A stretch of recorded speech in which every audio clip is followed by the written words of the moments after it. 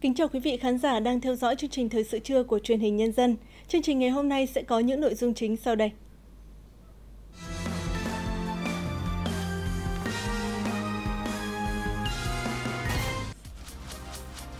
Nhanh chóng truy vết các trường hợp F1, F2.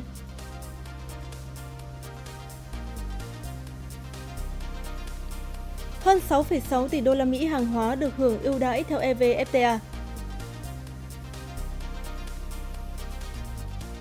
Trong phần tin quốc tế, Mỹ EU khẳng định phối hợp chấm dứt đại dịch COVID-19.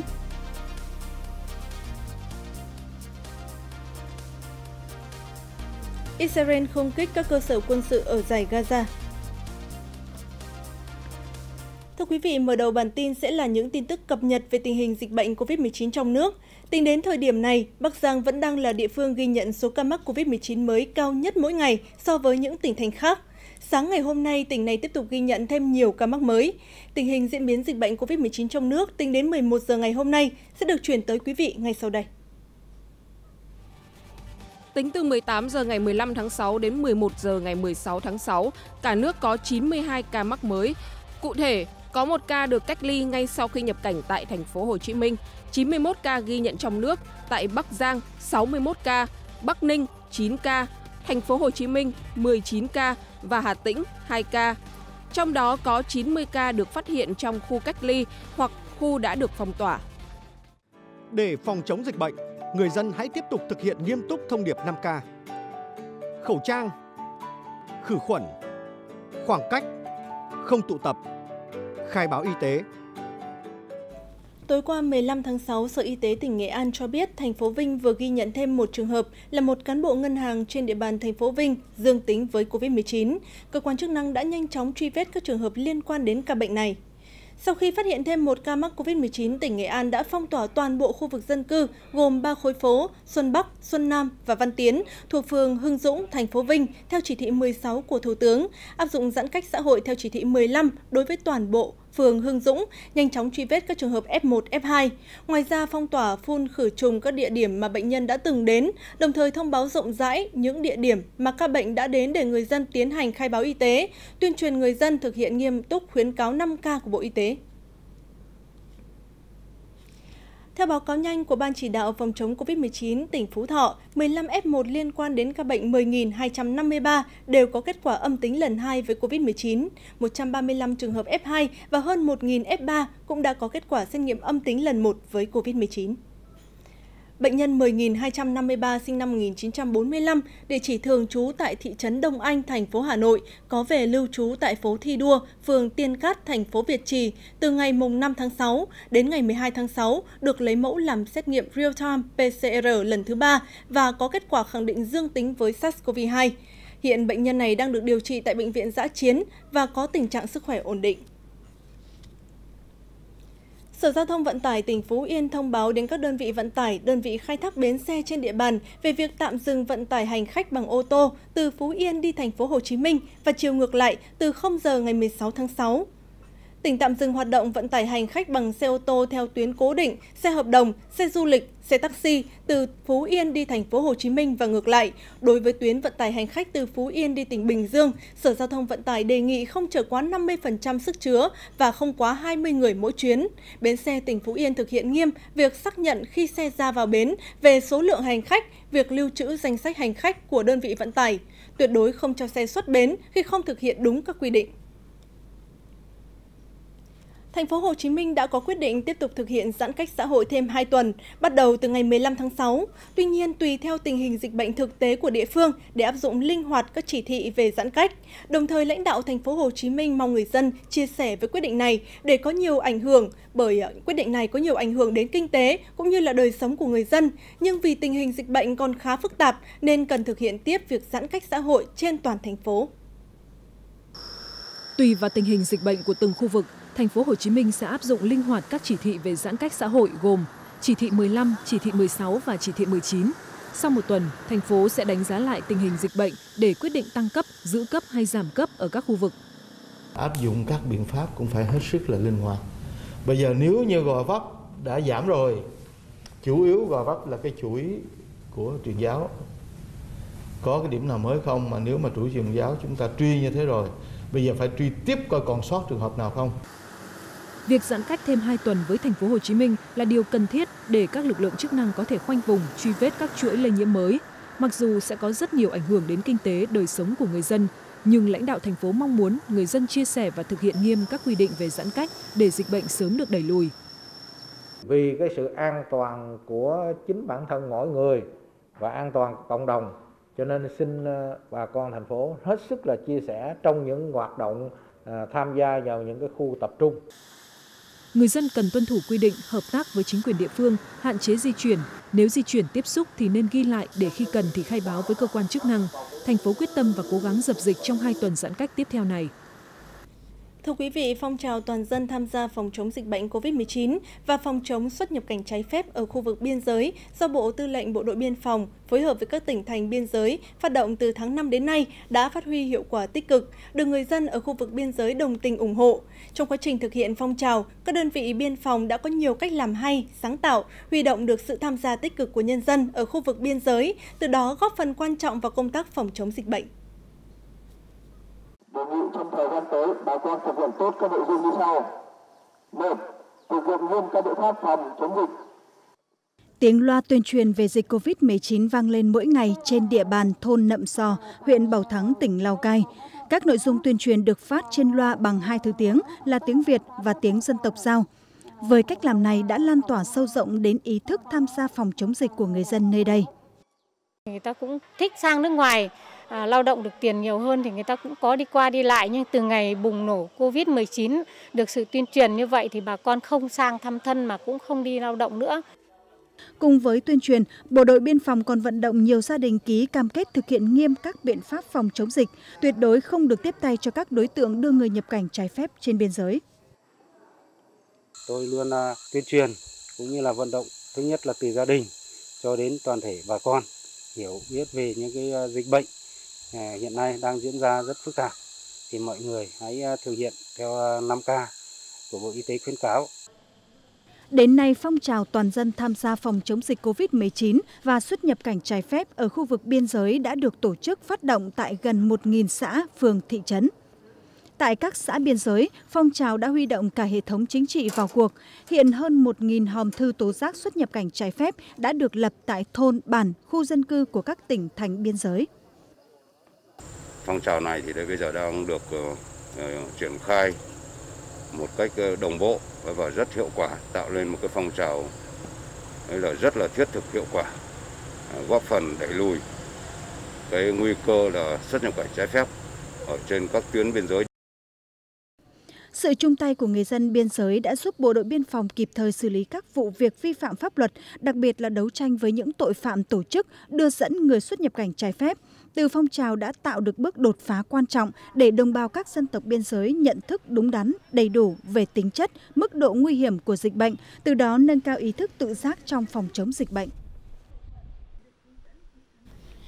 Liên minh châu Âu, EU và Mỹ ra tuyên bố chung sau khi kết thúc hội nghị cấp cao được tổ chức tại Brussels, Bỉ. Tuyên bố nêu rõ hội nghị cấp cao EU-Mỹ đã làm mới quan hệ đối tác xuyên Đại Tây Dương, thiết lập chương trình nghị sự chung xuyên Đại Tây Dương cho thời kỳ hậu đại dịch COVID-19 và cam kết đối thoại thường xuyên để nắm bắt tiến trình.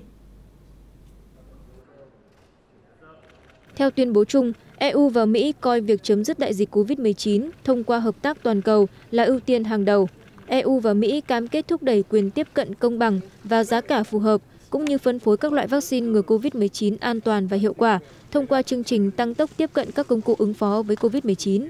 tuyên bố chung eu và mỹ còn nhấn mạnh cam kết bảo vệ hành tinh và thúc đẩy tăng trưởng xanh. Hai bên khẳng định kế hoạch tiếp tục và củng cố hợp tác nhằm giải quyết vấn đề biến đổi khí hậu, suy thoái môi trường và mất đa dạng sinh học thể hiện quyết tâm phối hợp nhằm chống lại tình trạng phổ biến vũ khí hủy diệt hàng loạt và đổi mới các nỗ lực kiểm soát vũ khí toàn cầu. Ngày hôm qua, Mỹ ghi nhận một cột mốc đáng buồn khi số ca tử vong do đại dịch COVID-19 ở nước này đã vượt 600.000 người. Dù số ca tử vong hàng ngày giảm trong những tháng gần đây, song vẫn có hàng trăm người Mỹ thiệt mạng do đại dịch mỗi ngày. Trong tuần qua, số ca tử vong do COVID-19 tại Mỹ trung bình là 343 người một ngày, cao hơn khoảng năm lần so với số người thiệt mạng trung bình hàng ngày trong các vụ va chạm ô tô. Theo dữ liệu của Trung tâm Kiểm soát và Phòng ngừa Dịch bệnh CDC của Mỹ, tính đến ngày 14 tháng 6, 52,5% người dân Mỹ đã được tiêm ít nhất một mũi vaccine và 43,7% đã được tiêm chủng đầy đủ. Giới chuyên gia nhận định vào mùa đông tới, khi dịch COVID-19 có khả năng bùng phát trở lại, Mỹ sẽ cần phải đạt được tỷ lệ tiêm chủng đầy đủ lên tới 80% dân số. Ủy ban Olympic Quốc tế IOC đặt mục tiêu có khoảng 70 đến 80% số phóng viên đưa tin về Đại hội thể thao Olympic Tokyo tới đây. Thông báo được ban tổ chức đưa ra trong hướng dẫn cập nhật phòng dịch cho sự kiện thể thao lớn nhất hành tinh, khi mà chỉ còn vài tuần nữa sẽ đến ngày khai mạc.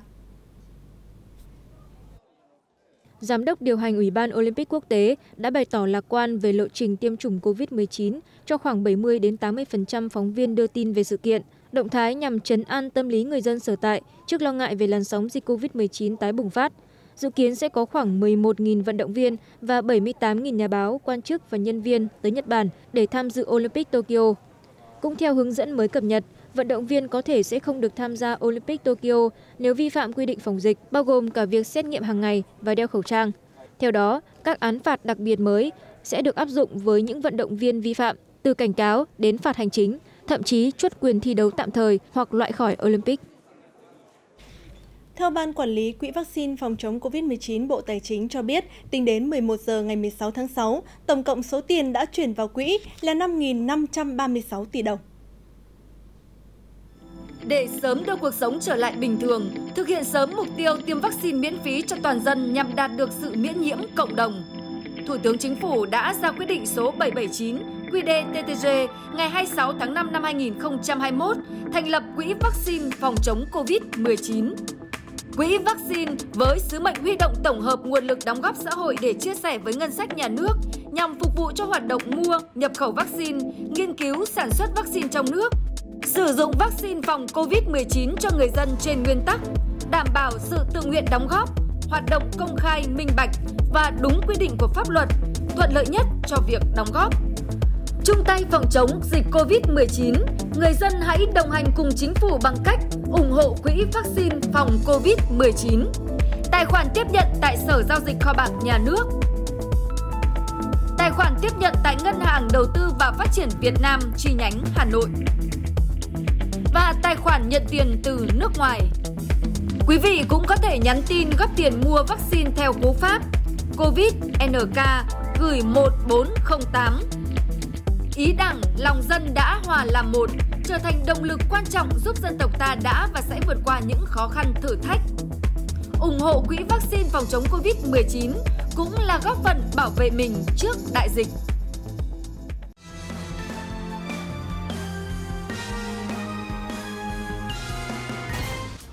Nối chương trình, Việt Nam lần đầu vào vòng loại thứ ba World Cup.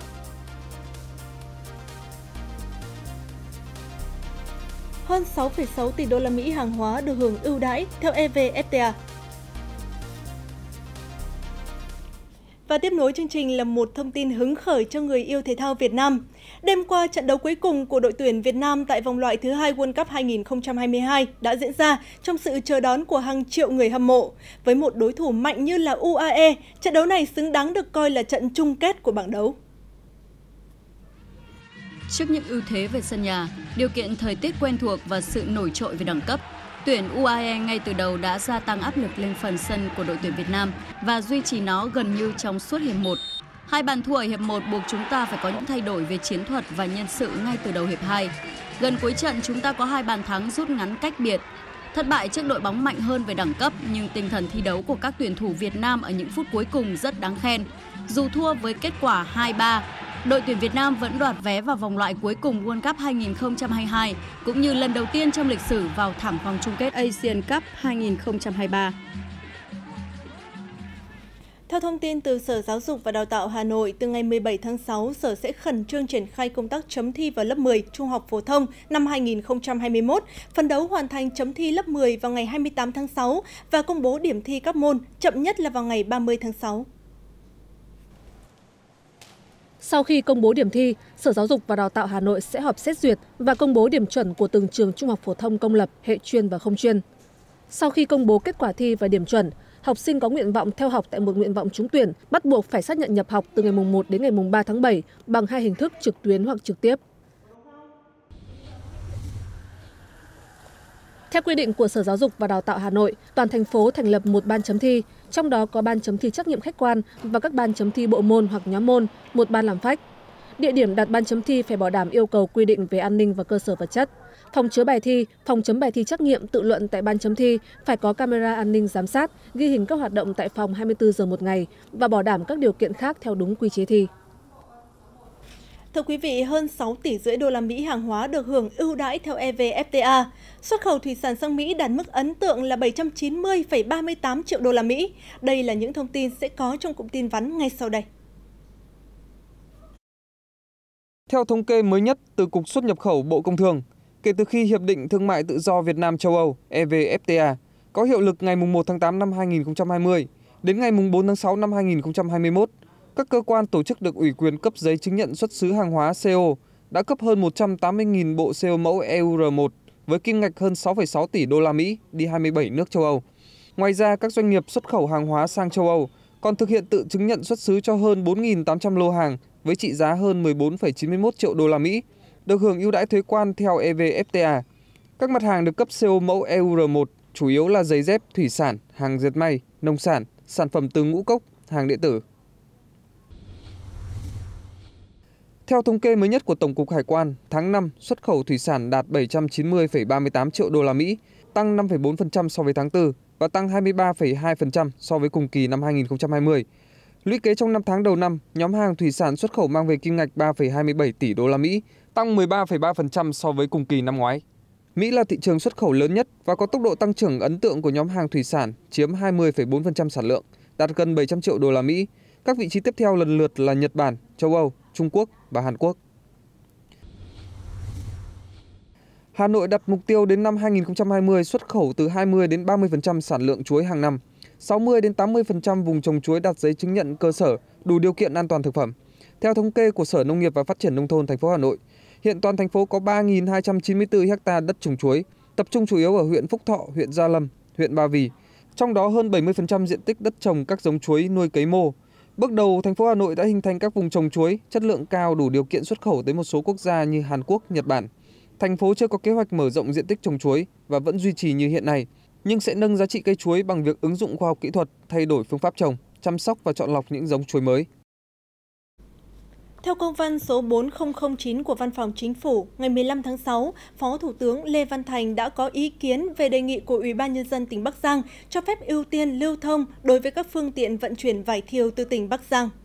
Phó Thủ tướng giao Chủ tịch Ủy ban nhân dân các tỉnh thành phố yêu cầu các địa phương không ngăn sông cấm chợ đối với phương tiện của các tỉnh thành phố đang có dịch lưu thông khi có các biện pháp bảo đảm an toàn theo quy định, chỉ đạo các sở ban ngành có phương án ưu tiên lưu thông nhanh chóng tại các chốt kiểm soát dịch COVID-19 đối với các phương tiện vận chuyển vải thiều từ tỉnh Bắc Giang để kịp thời tiêu thụ sản phẩm.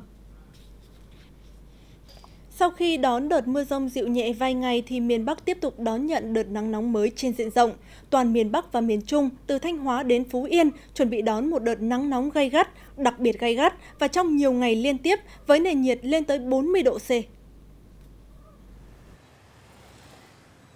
Theo nhận định của Trung tâm Dự báo Khí tượng Thủy văn Quốc gia, đợt nắng nóng này sẽ kéo dài đến ngày 21 tháng 6.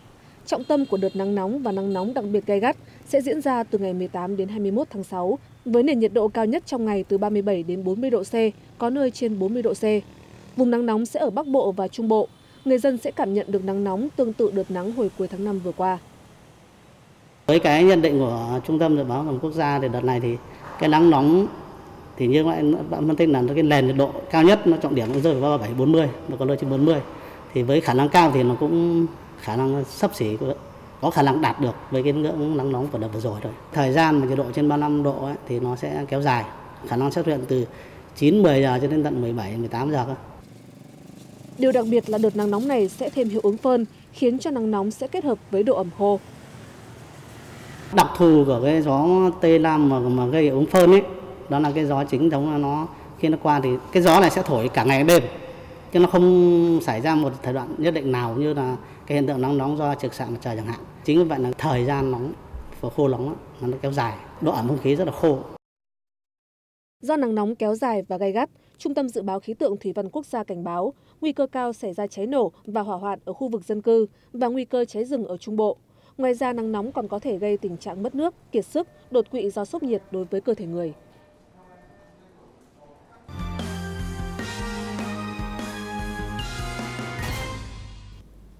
Chuyển sang các tin tức quốc tế, quân đội Israel xác nhận máy bay chiến đấu của nước này đã tấn công các tổ hợp vũ trang của Hamas ở giải Gaza sau vụ thả bóng bay gây hàng chục vụ hỏa hoạn trên các cánh đồng ở miền nam Israel. Theo một số nguồn tin an ninh ở giải Gaza, máy bay không người lái trinh sát của quân đội Israel đã bay lượn trên bầu trời ở khu vực này vào nửa đêm ngày 15 tháng 6. Một số vụ nổ đã xảy ra ở phía nam, cũng như khu vực trung tâm của giải Gaza. Các nguồn tin và nhân chứng cho biết máy bay chiến đấu của Israel đã ném bom vào các cơ sở quân sự thuộc lữ đoàn Al-Qassam, một nhánh của phong trào Hồi giáo Hamas. Hiện chưa có thông tin về thương vong sau vụ không kích. Đây cũng là vụ không kích đầu tiên do Israel tiến hành kể từ ngày 21 tháng 5 khi nước này và phong trào Hamas đạt thỏa thuận ngừng bắn do Ai Cập làm trung gian, kết thúc 11 ngày giao tranh vào tháng trước đã khiến ít nhất 230 người Palestine và 12 người Israel thiệt mạng. Nhằm tăng cường an ninh ở khu vực biên giới, Hàn Quốc cho biết đang lên kế hoạch triển khai robot thực hiện nhiệm vụ canh gác và thiết lập hệ thống giám sát ứng dụng trí tuệ nhân tạo AI để tránh các vụ xâm nhập bất hợp pháp và quản lý quân đội hiệu quả hơn. Theo dự án trị giá 2,5 triệu đô la, cơ quan quản lý chương trình mua sắm quốc phòng Hàn Quốc sẽ triển khai hai hạng mục sử dụng công nghệ hiện đại. Thứ nhất là robot được thiết kế di chuyển dọc theo đường ray với tốc độ 5 m một giây và trang bị camera góc nghiêng với độ phân giải cao cùng cảm biến tiên tiến nhằm phát hiện và theo dõi 24 trên 24 giờ các mục tiêu chuyển động. Thứ hai là hệ thống giám sát dựa trên công nghệ AI có nhiệm vụ phân tích âm thanh, chuyển động của mục tiêu và gửi cảnh báo đến trung tâm điều khiển khi phát hiện đối tượng xâm nhập. Theo kế hoạch, hệ thống giám sát sẽ được thiết lập xung quanh các khu vực biên giới trên bộ và trên biển vào tháng 10 tới, trong khi robot theo dõi sẽ chính thức được đưa vào sử dụng sau 6 tháng thử nghiệm, bắt đầu từ tháng 12.